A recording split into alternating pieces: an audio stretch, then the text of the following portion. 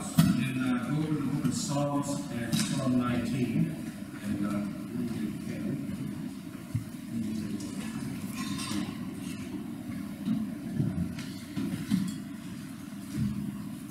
Psalm 19, we were uh, looking last week at uh, reading, memorizing, and meditating on God's Word. And I was thinking about all the different Psalms that we could look at and passage of Scripture we could look at and talk about the Word of God and, so on. There's a whole list on that front page and top there about biblical motivation, biblical grounds for reading and studying the Word of God. And as we were singing that last, or one before, sorry, he says, uh, I want you more than gold or silver, only you can satisfy. And then in Psalm 19, it actually has a very similar thought. Talks about the Word of God, more to be desired than gold, even much fine gold. So just as a way to kind of break into and, and set the stage for what we're going to talk about tonight, we read this together. So reading from Psalm 19 and beginning at verse 7, this well-known psalm that talks about the Word of God. It says, The law of the Lord is perfect, reviving the soul. The testimony of the Lord is sure, making wise the simple. The precepts of the Lord are right, rejoicing the heart. The commandment of the Lord is pure, enlightening the eyes. The fear of the Lord is clean, enduring forever. The rules of the Lord are true and righteous altogether. More to be desired are they than gold, even much fine gold. Sweeter also than honey and drippings of the honeycomb. Moreover, by them is your servant born. In keeping them, there is great reward.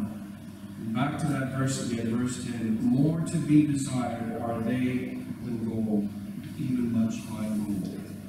I think one of the things that we face and one of the, the obstacles that we need to overcome as we come to this idea of reading and memorizing and meditating is it's hard work.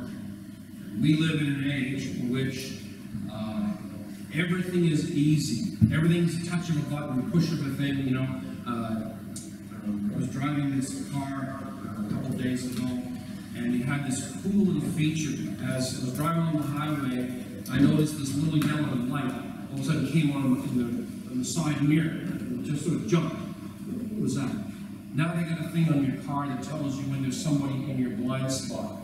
I went to, some of you may have seen that great big white tank thing up there with all guns and turrets. It's my new truck. I went to back up the other day and I looked at my mirror and I got shocked because right in the mirror is a ghosty image of like a backup camera that I just it threw me because I wasn't ready for it. Everything is easy, right? Everything we have is easy. But studying the Word of God is not easy. It's hard. It's hard work. And there's sometimes when uh, you come in here and you'll hear me talking to myself, and I almost feel like picking up the Bible and notice just like just pounding it on my forehead and hoping it'll something will soak through from my, my Bible into my forehead and something will come to life. You say, why is that? Because it costs something and the reward for study and the reward for the hard work is those breakthrough moments when the scriptures all of a sudden it's like the lights go on and everything sort of becomes real. You're, it's not like you're not praying or like said this morning about spiritual blindness. This is something different.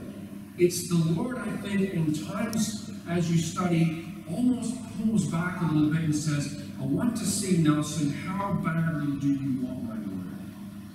How much do you want to gain something? How it's like digging for gold.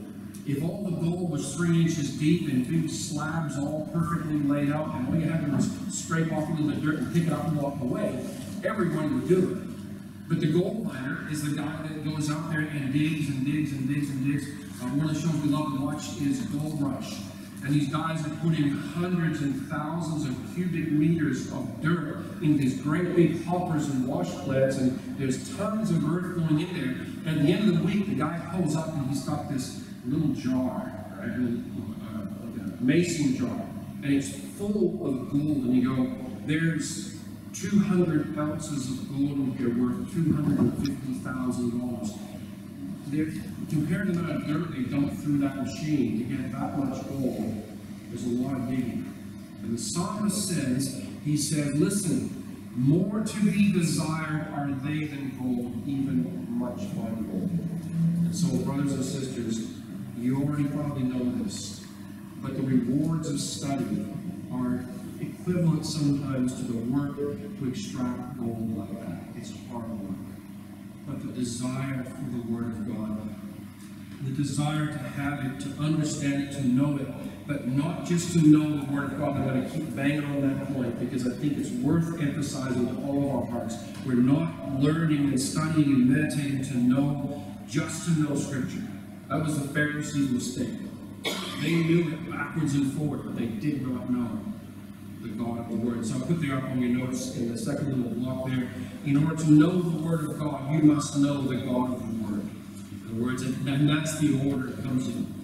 First we know God, and then we know His Word. And it's like a relationship, it gives and takes. And so the more we know His Word, the more we know about Him, and the more we know of Him, the more we know of His Word. And it just keeps building and feeding and building and feeding. Well, having said all that, I got done last Sunday night, and I think I went for well over an hour. And I was blasting through this stuff, and I had all these notes in front of me, and I suddenly realized you didn't have anything to follow. And I'm sure if I asked you how much you remembered from last week, you'd all sheepishly say, not very much. So I thought, what I'll do is, I'll give you out a set of notes. You can take this with you. There's some practical stuff in there that you can read through. We'll, we'll kind of skim through it again. I want to get down to the meditating on scripture part, which is number three on page four. If you flip over all the way to page six, there is actually the start of reading, meditating, memorizing the Psalms. We may or may not get there, but I'm guessing may not. But that's okay. Take it with you, bring it back next week, and we'll go through it, and then we'll dive into start studying and preaching our way through the Psalms. But here's the thing, okay? Like, just just a little time out. You know where we are in the studies on Sunday morning. We're in Acts. Next section is Acts chapter six. What should you do to get the most out of the sermon on next Sunday morning between here and Sunday morning? Look at Acts chapter six. Look at Acts chapter 6. Yeah, read, read ahead.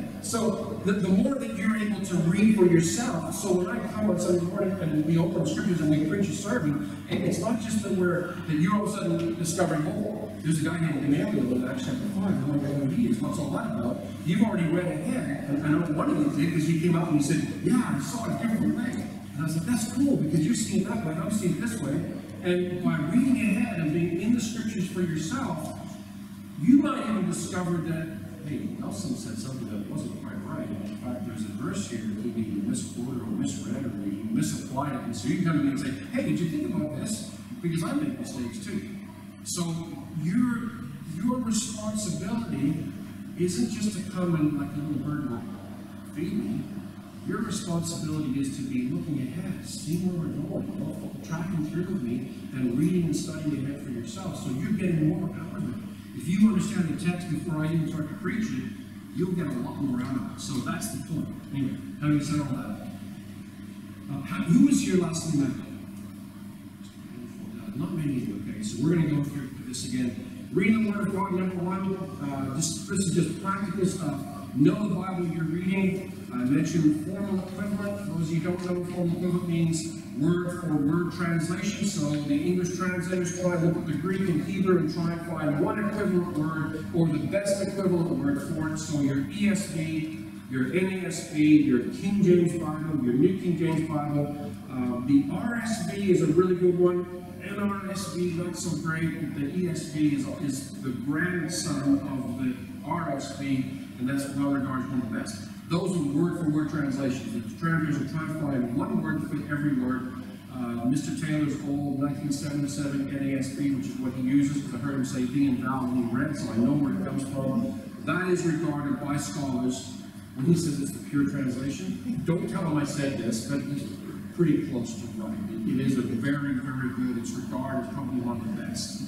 Um, and it's still used today, even though it's not in print, so you can find it online, and you really expensive to buy it. That NASB, the new NASB, excellent translations, they're word for word. Dynamic equivalent, NIV, TNIV. The RNIV is the reader's NIV. They give it to little kids. It takes all the big words and breaks them down to small words. If you're new to English, it's a great translation to use. Uh, study Bibles. absolutely get a study Bible, go out and pay the money. Uh, an ESV study Bible, in my humble opinion, is probably worth the money you're gonna pay for it. That one Heather's holding, the red and black, or you can get the nicer ones in leather. They weigh about nine pounds. They're good for, you know, if you want to work up your muscles, get two and curl them before you read it. Uh, but they are worth their money. They've got so much in them, they'll help you out. Multiple versions. Read one in the formal equivalent, read one in the dynamic equivalent, read an NASB and an NIV. You're going to get the sense, the flow in an NIV, and you get word for word in an NASB. It's a great way to read them together. Moving on, bottom of page one, read literaturely, meaning read understanding the genre of the text that you're reading. There's law, there's history, there's poetry, etc. You can read through those for yourselves. A good study Bible will give you at the beginning how to read this kind of literature. We'll look at the end of this or next week at how to read the Psalms because you don't read the Psalms the same way as you read the Gospel, the same way as you read Revelation. They're different types of literature. They use different devices and so on to communicate differently. So they're read differently. Okay? Genre and literature. Back, page two there. Read historically. Read knowing the history of the text in the book. Who wrote it? Matthew, Mark, and Peter were written by, uh, Mark was written by Mark with a whole lot of input from Peter. Luke, John, Paul, Peter, James, John, Jude, you can go through the whole list. Knowing who wrote it, Old Testament books, not always easy. Uh, most good study Bibles will give you some suggestions as to who wrote it. It helps just to know who they were, where they came from, what their background is a little bit. It's just information that's going to help you understand their perspective as they write. Who was it written to? That's not always clear, and there's even some debate, uh, especially in New Testament epistles. Sometimes they're written to primarily Gentile audiences, sometimes primarily Jewish audience, and sometimes it's both, a mix of both. Knowing that perspective will help you when you read through and go, why does he say that? Or why does he explain that? Why is it that Mark often gives a Latin term for a city or a place, and then defines it? Why does Matthew so often write, as is written in the book of the prophets, and he quotes a prophet? And then you realize Matthew's writing to a predominantly Jewish audience, Mark is writing to a predominantly Gentile audience. Oh, makes sense, right? And sometimes you'll see supposed inconsistencies from one gospel to the next, like place names is a huge one. Why is that place there and what that place there? Why does one writer say kingdom of God and one writer say kingdom of heaven? Until you realize that the Jews would never say kingdom of God. That was a disrespectful way to speak of God. So Matthew, writing to a Jewish audience, is going to say kingdom of heaven, whereas Mark, writing to a Gentile audience, just says kingdom of God. I came from a group of people, God bless them, love them, they love the Lord. They actually came up with a two kingdom theory a kingdom of God and a different kingdom of heaven. And it's like, no, sorry, if you compare the translations, you realize you're talking about the same thing. But knowing that perspective helps you to avoid some of those interpretation difficulties. Where was he often located? Paul says, I, Paul, a prisoner of the Lord Jesus Christ. He didn't just mean I'm a slave of Christ to serve him. He actually meant as he wrote the chains running across the page as he was writing. He was writing from jail. Knowing that helps. Why was it written? What's its purpose? What's the theme and message? A lot of those answers, if all you have, like Andreas has got an old King James Bible, and it's got no notes, no margin notes, no references, Andreas can find pretty much every bit of information we're talking about by how? Constantly rereading and just really studying line by line. If all you have is a pure text Bible, those questions can be answered, most of them. Uh, the date one, probably not, but aside from that, you can answer those questions.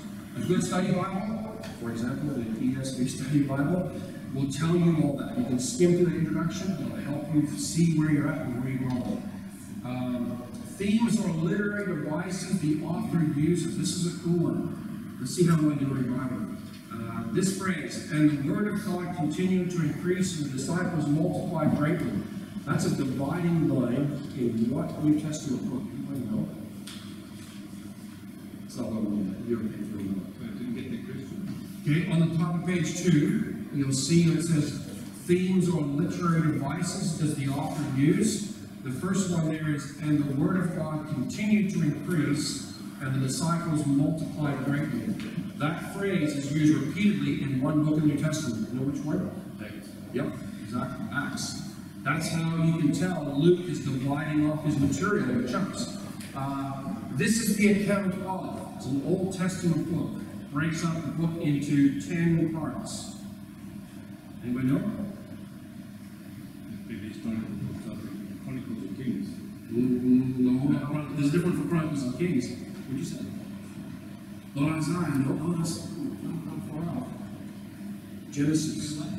Genesis. This is the account of the heavens and the earth. This is the account of Noah. This is the account of Adam. This is, and that those little lines, they're beautiful little written in. They didn't have chapters and verse back then, right? So when you read it, you go, oh, the author is giving us ways to break up the material to understand he's covering certain material between certain those little phrases. Uh, you have heard it said, but I say unto you, Yep, Matthew, and it's the Sermon on the Mount. Jesus is using that as a breakup. Uh, and when Jesus finished these sayings, it's used five times in one of the Gospels. I'll give you a hint. Not John, no. Nope. Nope. it's not Mark, it's not Luke, and it's not John. Which one is it? Matthew. Matthew, there we go. Uh, Matthew has five great discourses, five great teaching sessions, and at the end of every one, he says, and when Jesus finished these things, and he moves on. It's like, ah, Matthew, before chapters and verses were invented, is giving us a, a clue that he's concluding a section of material, and now he's changing course. He's changing his chapter for that. Uh, what shall we say then? Romans. Good you. Can't miss that one. Okay, is this book part of an ongoing conversation? Uh, 1 Corinthians and 2 Corinthians are in effect historically 2 Corinthians and 4 Corinthians because there's two letters, one before 1 Corinthians and one before 2 Corinthians, which we're missing. All we have is those two books that are inspired and recorded and kept for us. But as you're reading, you hear former letter. Oh, wait a minute, I don't see a former letter to Corinthians. How does that work? And sometimes just knowing these little bits of information helps you to understand what the book's doing. The Word of God is literature, and it's written using literary, literary devices and so on. I said last week, read grammatically. Try and no more chapter and verse markings, and don't help out just find your way around. Won't go on that one. Read broadly. One read through the Bible as a minimum. If you can read more than that, and the reason why one read through the Bible is a really good thing is constantly going through the Bible over and over and over again, is you're going to get a full grasp of the overall story. Read by, uh, sorry, read as quickly as you can, and read slowly and painfully. Talk about that's meditation is one, and just skimming through. I don't mean skim as in just glaze over. I mean like read quickly to get the overall gist of the books.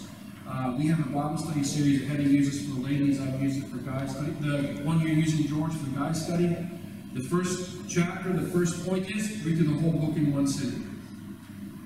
Every study will tell you that. You read through the book in one sitting. If you can sit down and take the book of Acts and read through it in one long go, and then do it again, you're going to all of a sudden start seeing there's themes, there's connections, there's there's uh, repeated phrases, there's repeated ideas that come up again and again and again. Which, if you read like one chapter a day over a month, you're probably not going to pick that up because your memory won't retain. So read quickly, read broadly, read and mark your Bible. I mentioned last week how I mark my Bibles really badly. Uh, some of my Bibles have pages that are so marked up you can't read them. I have to actually on the page top of it just to make it work. There is a way, uh, if you've got a crew on, if you look in the front by the Bible section, I don't know what stuff is. you can see there's a little box set. Uh, ESV produced these little tiny thin paperback journaling Bibles. You can buy them for like three, four, five bucks each, I think. And you get one like the First John, one with Second John, uh, Acts, and Romans, whatever. And they have a page of text and a blank page.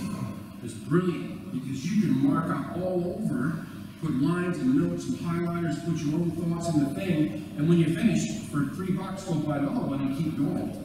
So if you if you have a really nice Bible, a nice leather bound Bible, you don't want to mark it up in records, a couple of those too. Do that. And that's the way you're, you're interacting, you're engaging with the text. I find, like I said last week, marking nouns and verbs and subjects and objects and prepositions and all those other parts of speech. You say, why do that?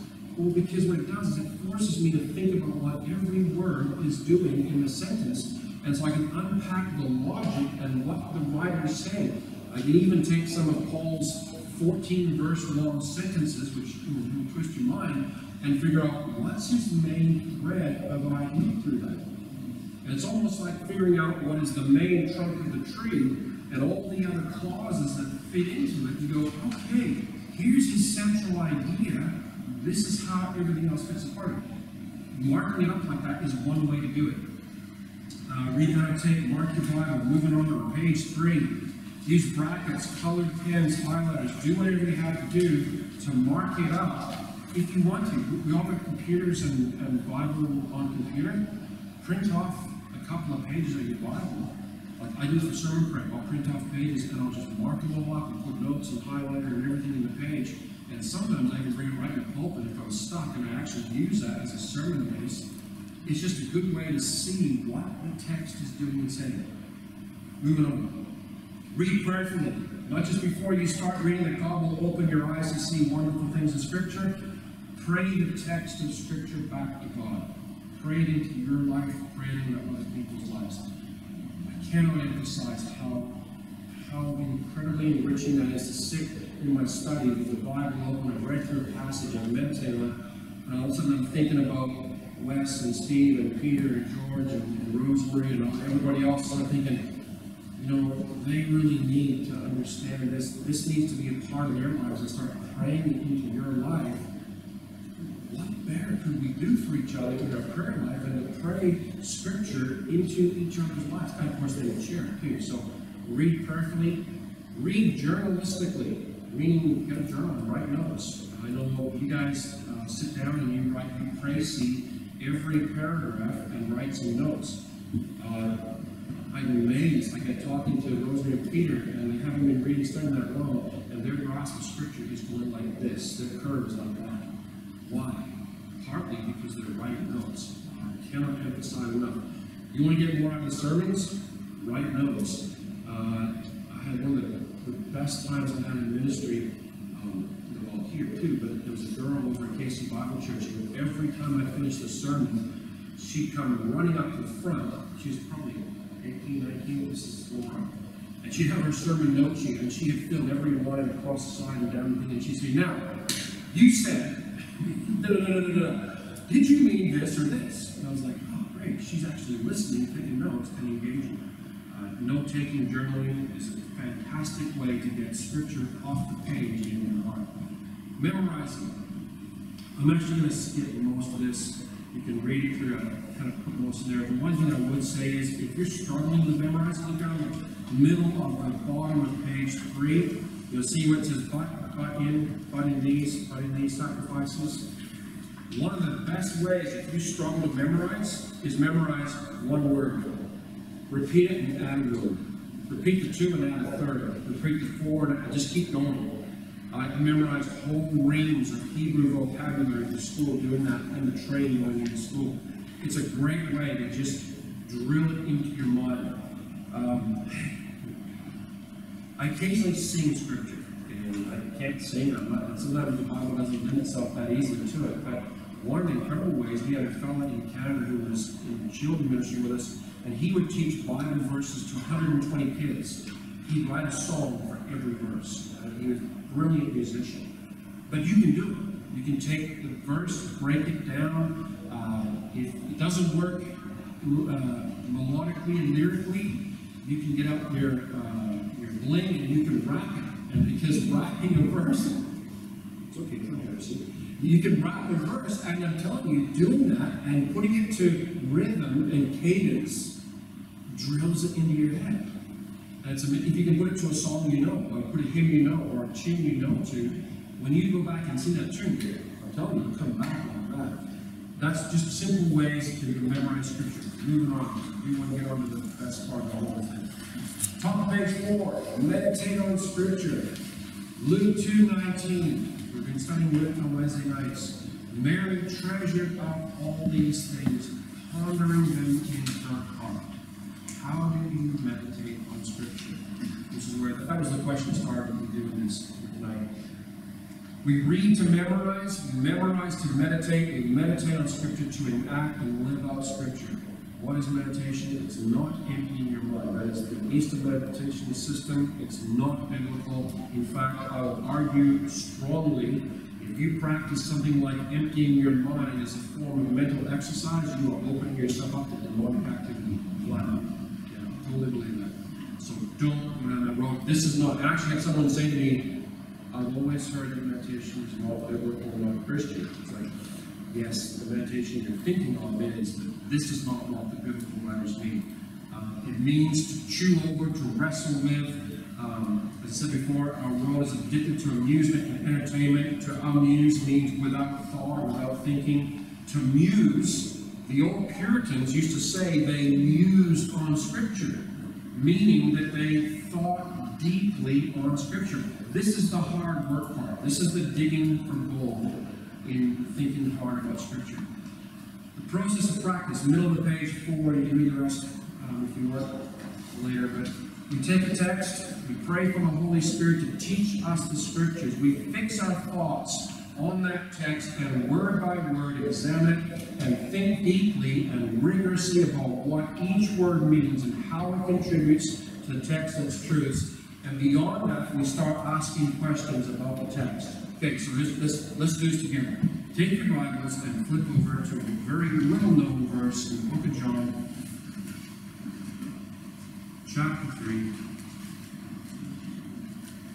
What did you say, Harold? Verse sixteen. Verse 16, yes, you knew where I was going, yes. Verse 16, well known verse in the Bible. I just sat in my study this afternoon while I was putting this together and thought, you know, there's actually a lot more here than I even thought there was. And when you start doing it, so first thing that we do, this is what I do, this is one way to do it, is what does each word in the text mean in its context? So I have the word for, F-O-R. What does the word for do in the text? Anybody know? John 3.16, first word is for. What does it mean? What's it do? It links to the previous. Yes, very good. Okay. What does it do? No, no, You're right. It's, it's actually can be called a conjunctive, uh, an inferential conjunction. Means that It has an inference, okay? Or in this particular case, it's also used as an explanation. Okay, so he said something in verse 15, whoever believes in him may have eternal life. For. to explain that, so the word for means there's an explanation coming. Okay, what does the word God do in the sentence? Anybody know what the grammatical form of God is? You know what I mean by grammatical form? What type of word is the word God? Noun, yes, a noun. So it's the subject of the verse? Very good, English teacher back there. It's the subject of the verse. What is John 3.16 all, who is it all about? God talking about his son, Yeah. sending his son to us to believe in him. Okay, back up. The subject of the sentence is the word God. So what is the sentence about? God, yes. Who, for you, uh, this is where I went, oh, here's me thinking for the last 40 years that the next verse is about us. It's not. For God so loved the world. That's it, so loved. What, do you know what that is? What kind of uh, form that is? Okay. That's right. That's the Greek. It's agape. What what uh, type of word is it? It's an adverb, it's a leading word. Someone said verb. The not adverb. It's a verb. So love is actually a verb. Agape is a verb, right? Yeah. So the action is God loved. Well, the object is the the object of His love is the world. Yeah. That introduces something called a relative clause. I know you don't want to go to English class all over again. Kathy's laughing at me. Relative clause explains or expounds or gives extra information about something. For God so loved the world that, well, what about God's love? Well, He gave. What did He give? His is a pronoun, refers back to God. So one of the ways we know that the subject of the sentence is God is you notice the pronouns refer back to God, or a little bit later it changes to referring to the Son. In fact, the world there doesn't really come into it that much other than the fact that whoever believes in him. So the subject, the main driving idea behind that verse is God loved the world that he gave. And you just keep going through the whole sentence and figuring out what does every word do. Um, in school, they teach you to do what's called a sentence diagram. Did anybody ever do this? And this is the only people who do this. Back when you're in school, did you go back to school? At college, Wrigley? Did you ever do it in grade school? Did you? In Canada? With all Canadians, right? they teach how to do nouns, verbs, and all, and they do like the like lines and they diagram the whole thing out.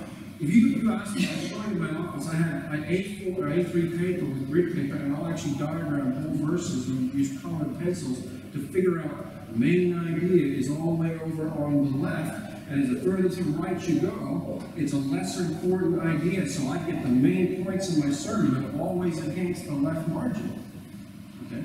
So in the verse here, for God so loved the world. Okay, we got that part. You can go through and figure out all other parts of the words and what they all do, and what they all mean. Let's move on. Next point there, it's the second from the bottom, full point. What do these words, line verses tell us about God? Okay, for God. In the beginning, God. What's it tell us? There's God. That's a good starting point, right? What's it tell us about the Trinity? As you read that verse, what does that verse tell you about the Trinity? Well, you've got for God so loved, and you've got what else in there? The Son. Okay, so now you, you know something, it doesn't say much about the Spirit, but you do know that God the Father and God the Son. So if you're a new believer and you're trying to wrestle through all these things, you're saying, wait a minute, what's it telling me about God? If God is God and He has a Son, what does that tell me about God? Who said it? Father, yes. All of a sudden, wait a minute, I just heard something about God. He's the Father, His only Son. Ooh, that's interesting one. And you start wrestling through. And the idea of this is you're, you're putting your thoughts and you're wrestling through what does this verse say? What's it tell me about God? It tells me if God exists. It tells me if God's a Father. What else does that verse tell you specifically about God? He's love, yes. He is a God who loves. Okay, so if you have love and you have one party over here, what must you have over here? If there's God, there's love, and there's a The object of his love. the object of his love. And if God loves somebody, what kind of God is he? He's a loving God, yes. That's true. What, other- what else can we learn about? Personal God, yes. What else? Starts with R.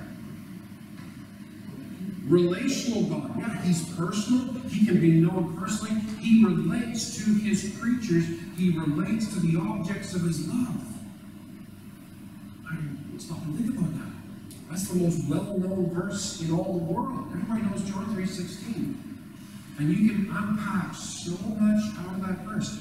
What's it telling you about the Holy Spirit? You go, well, not much. Uh, if you know any kind of theology on, the Trinitarian theology, you know that between God the Father and God the Son, the Son is eternally proceeding from the Father, and the Spirit eternally proceeds from both Father and Son. So there's Trinity there. Now, it's not specifically mentioned there. Unless you know a little bit of theology, you won't pick that up. But you can still go, okay, doesn't say too much about that. Move on to the next question. What's it tell you about the attributes of God? Well, He is love. That's one thing for sure. He gave His only Son. By the way, now, what kind of love gives? He is unconditional. Well, sort of, yes. And think about something else. What kind of love gives? It's a father's love, yeah. It? Sacrificial. Sacrificial love, yeah, on you, you had a West at the. It's a sacrificial love. It's a love that costs something. A sudden, all of a sudden we realize God's love is not temperamental, like you said, unconditional. it's a love that gives, and what does it give? It gives his only.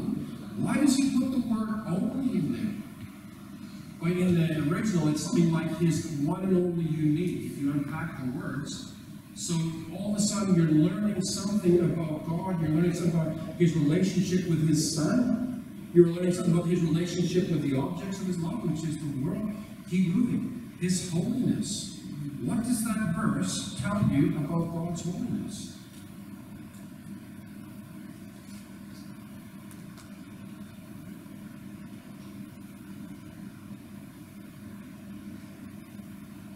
And you get, uh, if we believe in him, we shall not perish. Okay, But, but, what- on that, it was that it is necessary to believe. yes. There's a reason, there's a secret of God, there's a secret. Wow. Okay, so take the idea of perish and the idea of belief. How, what does that tell you about God's holiness? God's holiness is so great that those who do not believe will what? Perish, right? I mean, the very next verse, you keep reading, God did not send his son the world to condemn the world, but the world might be saved through him. Sorry, 18. Whoever believes in him is not condemned, whoever does not believe is condemned already. So what it tells you about the holiness of God as you meditate on this, you're not using dictionaries, you're not using theology books, all you're doing is thinking deeply about these words and chewing over what they mean, what they tell you, right? Uh, you can look at His grace, His mercy, His unchangeableness. Now, those questions I'm proposing in that list there, they're just suggestions to get you thinking, get your, your mind moving. All I do is and go, okay, what kind of questions can we ask about the text? And start putting them all down. And if you read a little further, you'll see the very bottom, I say, in case you hadn't figured out yet, the list of questions and considerations is unending. You just keep one question will lead to three more. And the more you wrestle through and ask, ask and answer those questions, all of a sudden you realize that the answer to one question is going to produce two more questions, and you just keep going. Right? Um, what does the verse tell us about our sinfulness? Well, perish tells you this. If I'm not washed clean, I will perish. What's it tell us about our salvation? Whoever believes in him, the gift of his son, you can just go through and unpack the, and the idea of asking those questions is to, to get your mind moving and wrestling and chewing through this. You also see why memorizing the scripture is now so important. Because get the verse in your head, you're driving down through this traffic, right? And you can start chewing over, for God so loved the world. And what does that tell you? And you start chewing on it. Okay, that's one verse. You can take all kinds of verses and meditate and chew them. Ask more questions like, uh, what do these words and lines and verses tell about our response as Christians? Faith is necessary in God. Our response to each other. Well, if it's the whole world that God loved and that God gave His Son for, it isn't just news for me, it's news for everybody else. And you can just unpack it, just keep going, right? Moving on from that, you, you get there, and once you've kind of exhausted what your mind at your state of growth and understanding of Scripture can ask and unpack there, then you start asking questions like, well, what sermons have I heard that help me understand this? What books have I read on the gospel that add to that? And there's another whole aspect. The Bible talks a lot about meditating on Scripture itself. The Puritans, one of the reasons why, anybody here read a Puritan book besides me? No, you haven't, but you lots ago. I think you read more than I have, but I'm, gaining on this slowly. The Puritan books, they'll take one verse. I read the other day, I think it was Flavel who preached a series of 20 sermons on three verses. And you think I'd take a long time on text. I mean, these guys can unpack it and exhaust it. Why? Because they took verses like we just did and they made meditation. That was a huge part of their study, huge part of how they lived their lives, unpacking and chewing over scripture. Why they had, I mean, Packer, J.I. Packer calls them the, the redwood and the oak trees in the forest of Christianity, these great, solid, tall trees that tower in the sky. Why? because they were constantly soaking their minds and chewing over scripture. And when they could preach it, they could just preach on and on and on and on. And they could draw in verses all over the Bible because they were so saturated with scripture. Were they, they have better brains than we did? No. Do we have better tools to study the Bible? Then maybe that's a black with them. Well, I got a tool there that can find scripture and verses and all kinds of stuff thousands of miles faster than they ever could. They had all books and they didn't have very many of them. They only had a few. And yet, their grasp of scripture outstrips ours a hundred times over because they meditated constantly. They didn't just meditate on verses, they meditated on uh, topics. Uh, one lady was describing uh, there was four of these Puritan smarties uh, able having their breakfast, chewing over how they could meditate on how you could pray all the time. And this lady walked by, she was a washerwoman, and she happened to overhear the conversation. She said, Oh, sirs, that's easy. I sit up in the morning and I, and I put my feet out of bed on the floor and I give thanks to the Lord that my feet are on the solid rock of Christ. And I get up and I go to my door and I open my door and I remember that Jesus is the door. By him no everybody enters. And so I give thanks for the fact that there is a door called Christ. And, and she's kept unfolding. You know, I sweep through the, the day with my broom. And as I sweep with my broom, uh, she said the, the dust of the, the world clouds up. And so I sprinkle the water of the word on my situation. And as I sleep, the dust settles. And, and she just went through it. She stood there, this, this, this washerwoman talking to these uh, theologians about how she prayed through the day and how her mind was constantly looking around for ways that scripture was brought to mind. You're sitting on chairs. Think about chairs in scripture. The throne of God. The seat of the atonement seat. The throne of the king. Let's think about we're going to be seated with Christ. So as you sit down in the chair, you can start chewing your mind over the fact that we have been raised up and seated with Him in the heavenly places. Ephesians chapter 2. Uh, you're driving in your car, you come to a stop sign. Um, desperately thinking of a way to make that one work. God puts stop signs in your life to bring order. I mean, you can think of all kinds Pray of for the person who comes, who comes next to you. Pray for the person in the car beside you.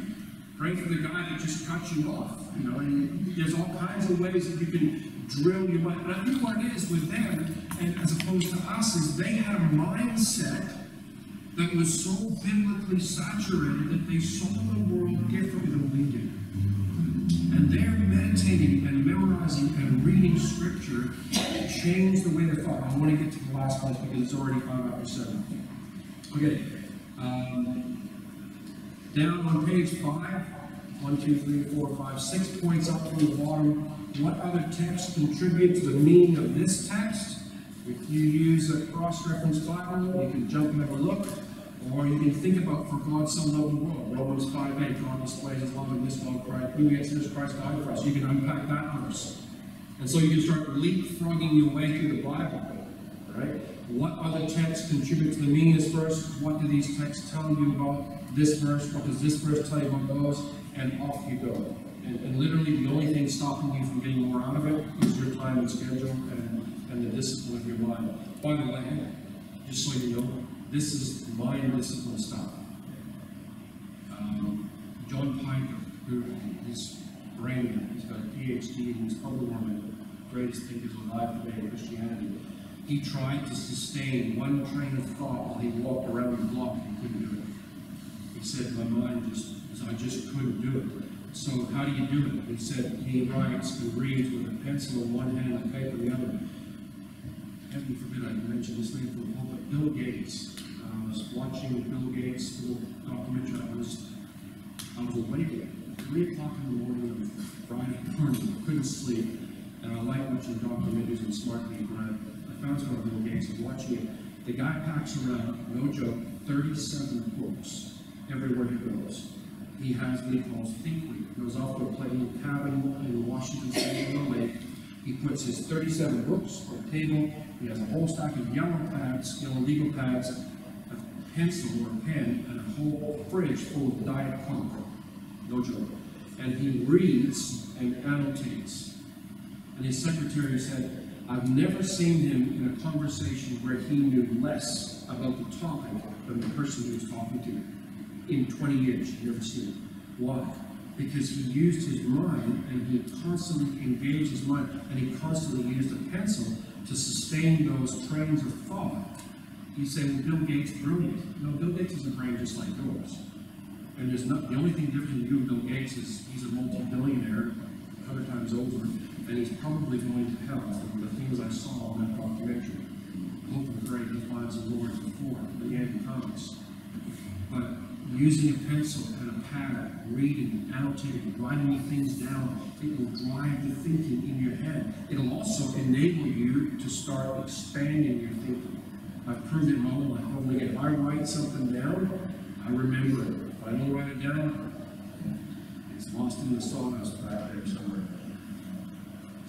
Um, it's about, this is the fourth point from the bottom, it's about active engagement with the text by thinking hard and deeply and peeling away the text layer by layer to gain an understanding of it, to understand what it says, to understand what God is saying to you from that text. God speaks through His Word. Paul actually says in 2 Timothy, and my memory isn't very good, but I think it's 3 and verse 7. Don't look it up in case I got it. He says, if you think deeply, God will give you understanding. There you go. That's meditating. That's wrestling with Scripture. Um, Stephen, look at it and see if I got it right. Um, take every word and phrase and pray it back to God, like reading the Bible, to ask God to teach you what to do in response to the text. Now, this is not the point I want to get to. It's not meditating on Scripture to just store away tons of theological information and brain and and carry on. Here's our it works. By sowing, and I mean that like a farmer sowing seeds, by sowing the thoughts of the Word of God into your mind and heart, it is hope, and I would add pray, that God will bear fruit by producing in you the fruit of God's the action. Sorry, I'm obviously then jumping thinking here. What I'm trying to say is if you sow the thoughts of meditation into your mind and heart, the outcome of that will be a change of action, something different in your life. You sow a repet- repetition of that action. What you create is a habit. You sow the habits and you create character. Okay? The old saying is true: sow a thought, reap an action. Sow an action, reap a habit. Sow a habit, reap your character. Sow your character, reap your eternity. It's absolutely true. So the whole idea, go take your Bibles together, we wrap this up. Joshua 1 verse 8. The whole drive of this, uh, one couple you were talking to me, at least with me this morning, about godliness and holiness. The life that we live is to be a life of godliness and holiness. We're not just saved by a statement of faith in God. We're saved because we believe in God, and that belief changes our character. So Joshua 1 8 says this This book of the law shall not depart from your mouth. And the idea of the word meditate, which is in the same verse, is a different Hebrew word than the one in Psalm 1. And in this case, it literally means to mumble. So what the, the Hebrew has the idea, this book of the law shall not depart from your mouth, but you shall mumble it day and night. You shall mumble, mutter it to yourself. So it's the idea of memorizing and repeating in an audible sense to yourself the Word of God. So that it's a purpose, right? So that you may be careful to do action according to all that's written it. The whole point of doing this is to change our actions, to, to develop godly habits that develops in turn godly character. So we're reading Scripture to memorize Scripture, we're memorizing Scripture to meditate on Scripture, and we're meditating on Scripture to develop godly habits, godly actions, which will in turn develop godly character. Does that make sense? Okay, it's 10 after 7. Anybody got any questions or comments you want to throw out before we wrap it up? And then Heather and I are going to run over to the hospital this evening. Yes, sir. Chapter three, the, you know, the, he told me, he talked about the Lord, he talked about Jesus, he talked about pain, and he talked about sin. Yep. For those who don't believe, Yep. really, really, it's a hybrid like that. Hmm. That's what people say.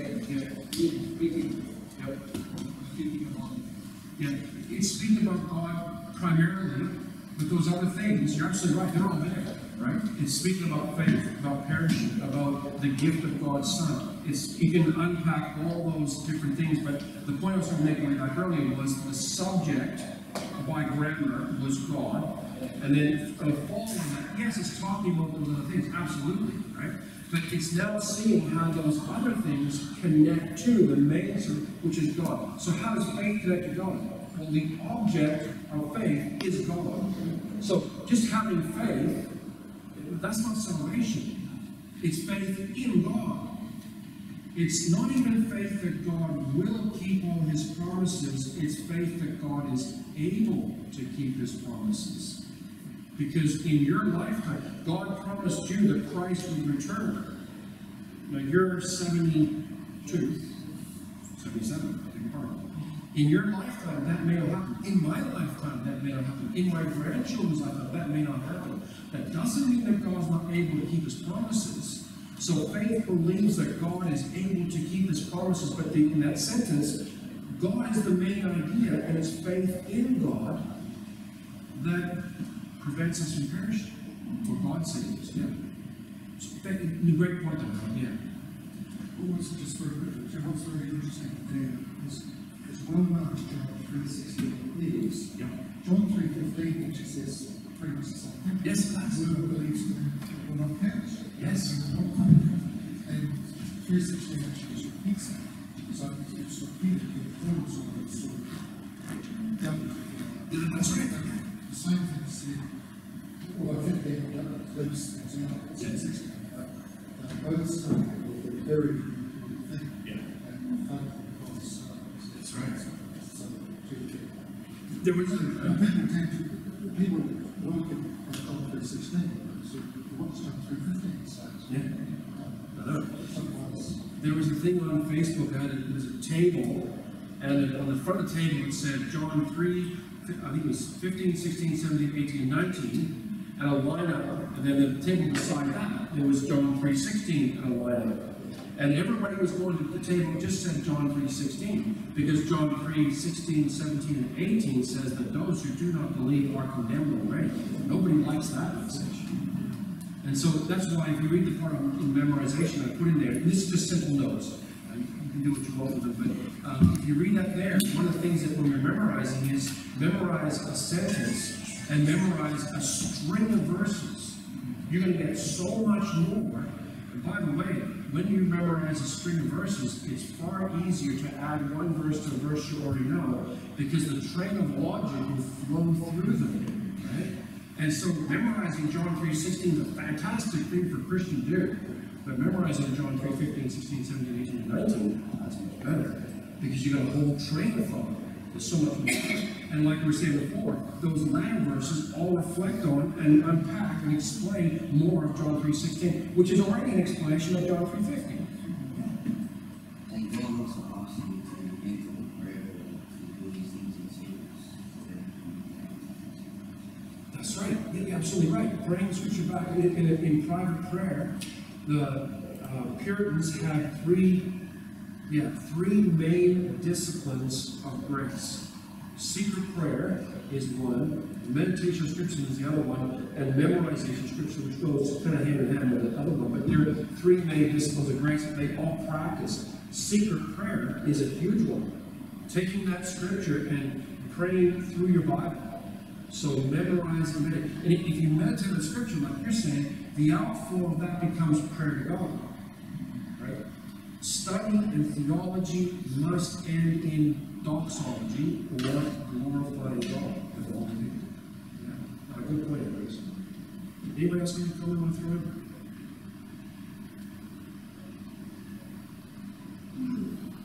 I was just thinking to all of you, we never forget the primary order.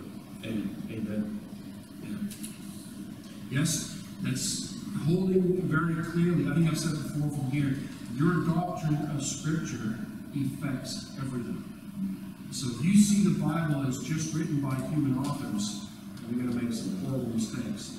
Uh, some of my Bible school professors, one in particular, his favorite thing to do in class was to push all the other books that we weren't studying to one side And he kept saying to me, yes, but what is the, what is the theology of Hebrews?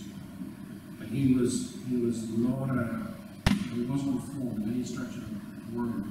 And so his idea in Hebrews 6 is that you can lose your salvation. And we had a knockdown, drag out argument right in class, me and him, because I said, yes, but you cannot divorce whole Pauline theology from the theology of Hebrews. It's, they fit together. He said, you know, but you can't, you can't oppose Pauline. the-" I said, yes, you absolutely can, because it's one book. When you're right, it's one author. And seeing that inspiration of God, and when you meditate on Scripture, that's going to reinforce that idea because you're going to see similar logic unpacked. You take Romans 5 8 and John 3 16. They're essentially saying the same thing, but from different perspectives and different avenues. So it's a like looking at the whole the concept of God's love and salvation and just you turn it around as you see different verses that talk about it. So yeah, and it drives home the idea, one author, absolutely. All right, I better close in prayer. and run.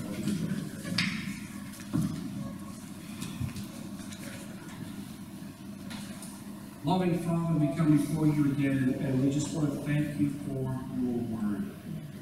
And Father, we thank you for giving us a mind and a brain, giving us the simple tools of paper and pencil.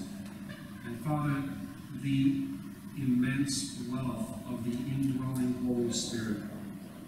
But as we work our way through and chew our way through texts, whether it's John 3.16 or Isaiah 40 or wherever it is, Father, the Spirit of God teaches us and instructs us and trains us and helps us to see the truth of Scripture.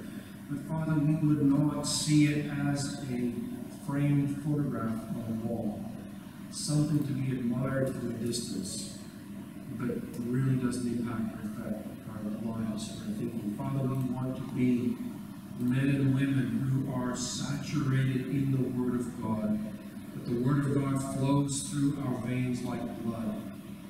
That the Word of God affects our actions, our thinking, our words, our relationships. The Word of God impacts our whole lives so that we are changed into godly men and women. Father, we remember those verses in uh, 2 Corinthians 7, I believe it is, it says that without, we must perfect godliness in the fear of the Lord.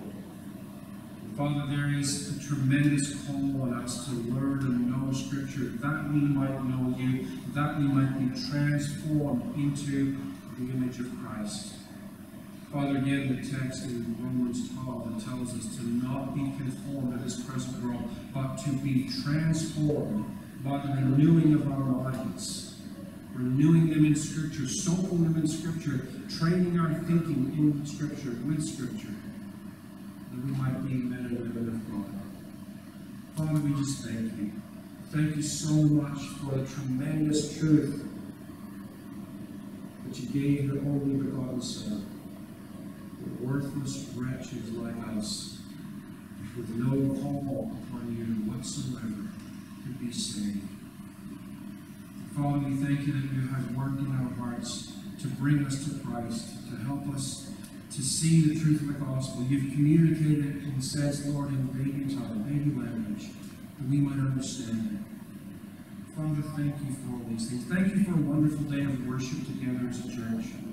Lord, we thank you for the visitors who are here this morning. We think of David and his daughters. We think of Andrew and his son. And Lord, there was another couple back there, an Asian couple. And they didn't get to meet them. Thank you, Lord, for bringing them here. We pray, oh God, that they would have been blessed and encouraged. And if they're not believers, Father, they would walk away thinking about what the gospel truly is. Father, we pray for Lynn and for Jack tonight who are in hospital dealing with in sickness and sorrows. Oh, we ask you that you encourage their hearts and strengthen them for the journey. We ask you these things, Father, giving thanks in the name of the Lord Jesus Christ. Amen.